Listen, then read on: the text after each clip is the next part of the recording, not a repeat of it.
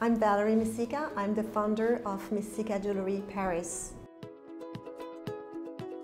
My new collection uh, that I present is about fairy tale.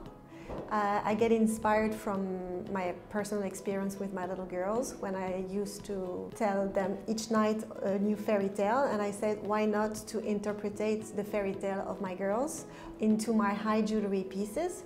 So this year I present 22 sets of high jewelry uh, within four different tale, fairy tales. I had the Little Mermaid, the Snow Queen, the Bright Falcon and Arabian Night. I think that woman likes to wear Messika jewelry because first of all it's very modern and quite pure in terms of style. Uh, it gives you an allure. Also very, it's very comfortable. Each piece that we are doing, for me it's very important to point the fact that it has to, to stick on the skin of the woman like a like tattoo and you have to forget it. These sets that I'm wearing was um, inspired in my mind uh, for Middle East style uh, for example, I design a hand bracelet.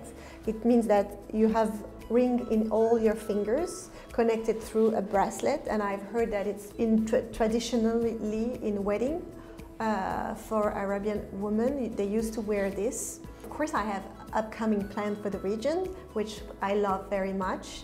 We still continue to open new stores uh, in Kuwaiti, in Saudi Arabia and hopefully more.